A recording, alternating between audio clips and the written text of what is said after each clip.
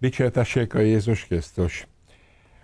Megint elszaladt egy hét, a szerdai gondolatok soron következő eh, része a Lukács evangéliumhoz kötődik, Lukács 13-22-től egészen 30-ig. Először is hallgassuk meg.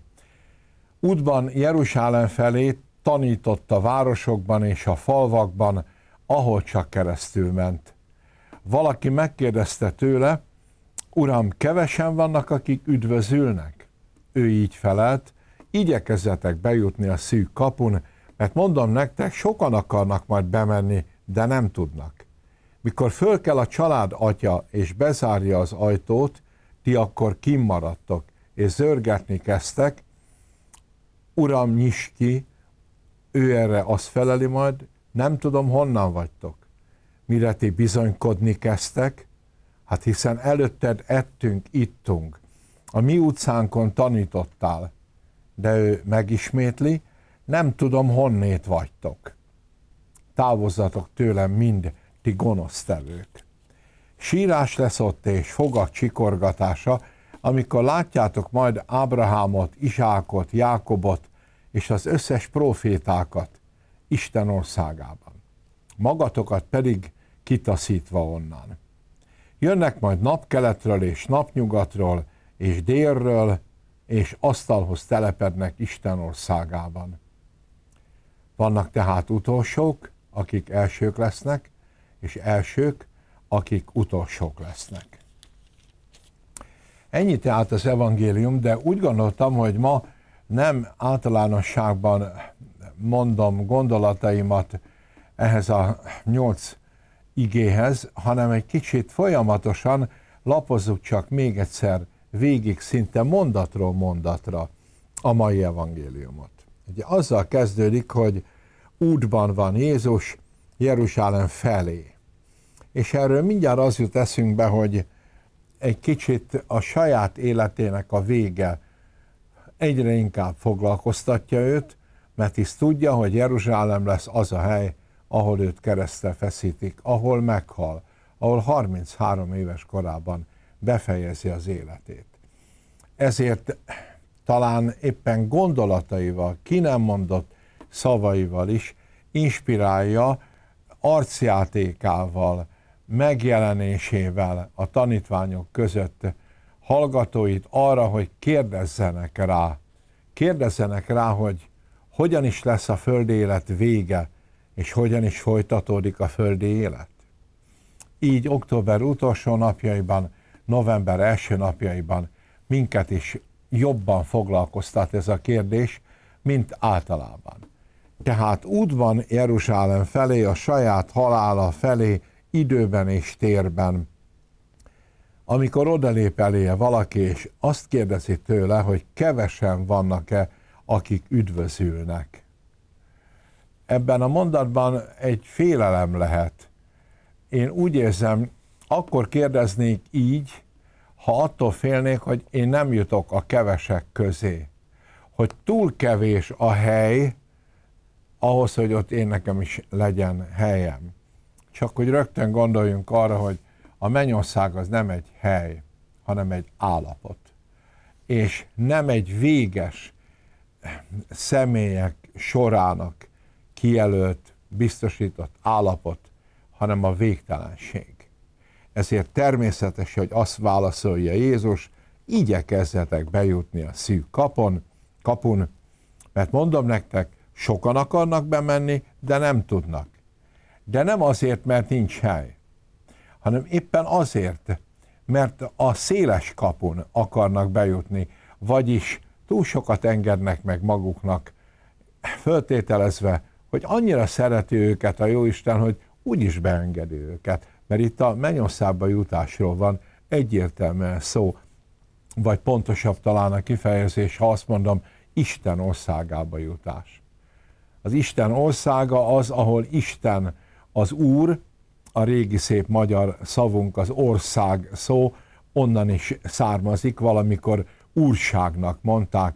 Tehát Isten az Úr de ez az Úr, ez valami olyan csodálatos létet biztosít azoknak, akik az ő uradalmába, az ő régiójába jutnak be, hogy az ember nagyon szeretné, ha része lenne ebben az uraságban, az úr melletti állapotban. És ezért az ember úgy gondolja, vajon hogyan is kellene előre biztosítanom, hogy bejussak. Na, semmiképpen nem a széles kapun tehát. De figyeljük csak a folytatást, hogy hogyan is magyarázza meg még jobban Jézus, hogy miről is van szó. Mikor föl kell a család atya és bezárja az ajtót, mondja, ti akkor kimaradtok és zörgetni kezditek az ajtót. Uram, nyisd ki! Erre ő azt feleli, nem tudom, honnan vagytok. Nem tudom, honnan vagytok. Érdekes. Az a meghatározó? Vagy hogy is mondjam, az lehet oka az Isten országába való bejutásnak, vagy éppen be nem jutásnak, hogy honnan való vagyok? Gondolom mindnyáján elgondolkodtunk azon életünkben, talán nem is egyszer, hogy, hogy hogyan is van, hogy, hogy én éppen Kunszent Miklósi vagyok. Hogy én éppen annak az Andrásnak és Ilonának a gyermekeként láttam meg a napvilágot ott 1948-ban. És a barátom nem Kunszem Miklósi, vagy Kunszem Miklósi, de egy utcával arrébb, és, és más édesapa és édesanyja gyermeke. Ő onnan indul a mennyországba. Én innen indulok a magam szülőhelyéről. Vagy milyen különös, amikor elgondolkodunk azon, hogy mi Magyarország népe, mondhatnám úgy, hogy Mária országa vagyunk, de azon kívül, vagyis ezzel párhuzamosan egy kicsit már szinte Isten országában érezhetjük magunkat. Hisz Mária ennek az országnak a királynője, talán egy-két nemzet van még, akik hasonló történelmi szituációnak köszönhetően mondhatják ezt magukról, de vajon ez minket előnyben részesít? Vagy az etiópiait hátrányban részesíti az Úr? Én azt hiszem, hogy ez költői kérdés volt, nagyon egyértelmű ugyanis a válasz, hogy nem. Nem földrajzi helyet ért ez alatt a kérdés alatt a házigazda, az Úr, amikor azt kérdezi, hogy honnan jöttetek, honnan valók vagytok, hanem hát milyen világból, de tudjuk itt átitt vitt értelemben mondhatom a világszót, milyen származásod van, mert ez lehet, hogy mint cirkumstancia, mint körülmény meghatározza, hogy mit várhat tőlem. Az igazságos, de végtelenül és irgalmasan megítélő Krisztus, az ország királya, mit várhat tőlem, és mi az, amit nem várhat. Hány és hány ember testvérünk úgy áll majd oda Krisztus elé, hogy nagyon meg fog lepődni most éppen a közelmúltban vettem búcsút egy jó szándékú eh, szemétől, aki azonban a vallását nem gyakorolta, nem törődött azzal, hogy egyáltalán van Isten, nincs Isten, különben hát manapság döbbenetes, hogy ez a téma hány embert elkerül. Telefonon beszélgettem pár nappal ezelőtt egy vőlegénnyel, majd jövő nyáron fog házasságot kötni Mondja, hogy nincs megkeresztelve, de ez azt mondom, hagyján. Arra a kérdésre, hogy a testvére vagy testvérei megvannak-e, azt a választ adja, hogy nem tudom. Vagyis felnőtt 20 valahány éves vagy 30 éves koráig, úgyhogy erről még csak szó sem volt. Soha. A szülei erről nem beszéltek. És akkor most hoppá, hoppá megjelenik az Úr Jézus előtt. És ha arra kell válaszolni, hogy honnan jöttem, akkor netán egy kicsit már megvilágosodva elmondja, hogy hát ilyen környezetből jöttem, uram. Hogy még csak meg se kereszteltek. Aztán még felnőtt koromban sem alakult úgy a helyzetem, hogy ezt pótolhassam. Lehet, hogy házasságkötés előtt most éppen meg fog keresztelkedni, rajta múlik elsősorban. De vajon ez olyan meghatározó lehet? Tehát a múltja, hogy már is kimondhatja rá az igazságos, de irgalmas bíró, hogy nincs helyed itt a mennyek országában, az Isten országában? Valószínűleg nem. Mert jobban tudja a mindenható, hogy hol és milyen körülmények között is élt ez az ember eddig. Nem csak földrajzilag, véletlenül sem csak földrajzilag hol élt, hanem mennyire volt szabad akarati döntése, teszem föl 25 vagy 50 éves korában, vagy netán halála előtt 70 évesen, hogy végre döntsön. Végre döntse el, hogy milyen világnézethez, milyen erkölcsi rendhez tartozik. Lehet, hogy enyhítő körülmény számára, hogy ilyen negatív környezetben nem tudott eddig dönteni. De most talán már is könnyek hullanak a szeméből, mert bánja, hogy nem találkozott eddig ezzel az arccal. Nem ismerte eddig a jóságos Jézust. Nem hallott az irgalmas Jézusról. Nem ismerte a szűzanyát. Nem hallott a szentek példamutató életéről. Nem hallott a kereszténységről. Mert valahol olyan területén élt a földgolyónak, ahol alig van híre a kereszténységnek, a Krisztusba vetett hitnek. Hát ezért nem könnyen fogunk tudni beszámolni arról, hogy honnan jöttünk, az az egy szerencsénk, hogy Jézus tudja, mielőtt mi megpróbálnánk választ adni rá. De ez a példabeszédbeli személy, akiről itt szól Jézus, azt mondja, hogy majd bizonytalankodni kezdtek, vagyis hát akinek, akiknek mondja, őróluk feltételezi ezt, és azt mondja, hogy de hát előtted ettünk és ittunk, a mi utcánkon tanítottál. És ő mégis azt mondja, nem tudom, honnan jöttetek, nem tudom, honnét jöttetek. Még mindig valami választ vár, és nem csak ezt a választ. És ha arra gondolunk, hogy bizony nagyon sok ember testközelben volt az Úr Jézussal, földi életében. Esetleg a legnegatívabb dolgot mondom, de, de hallott keresztényekről rosszat, de mégis hallott róluk. Vagy eljutott hozzájuk egy harangszó, netán rendszeresen, mert a második vagy a harmadik utcában tőlük ott volt a katolikus templom, és minden délben megszólalt a harangja, sőt, talán reggel és este is. Lehet, hogy nem tudta, mint hogy sokan nem tudják, még templomban járókról is kiderült már néhányszor, hogy miért is szól a harang, akár a déli harangszó, akár az esti harangszó után a lélek harang. Mert imádkoznunk kell olyankor, az aznap meghaltak, lelküdvér. Honnan jöttünk?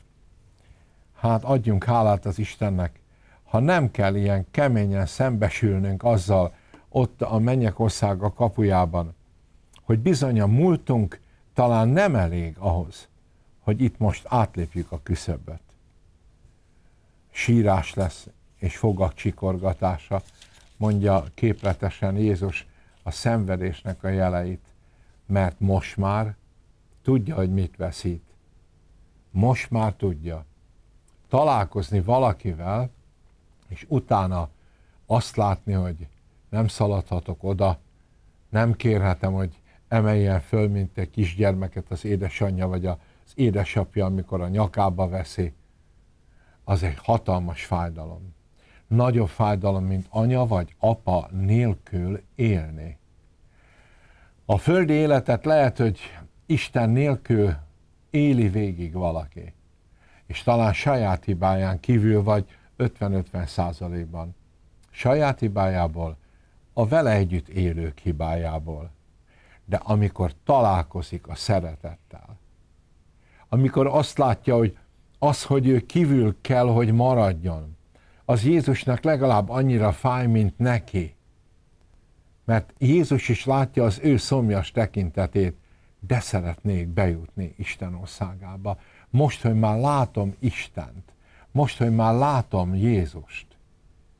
Ez fáj Jézusnak is, és fáj annak is, aki odáig eljutott, és most itt a döntő pillanat, hogy mit mér meg mi, a, mi atyánk, a mi atyánk, hogyan mérlegel, végül is bejuthatunk, vagy sem.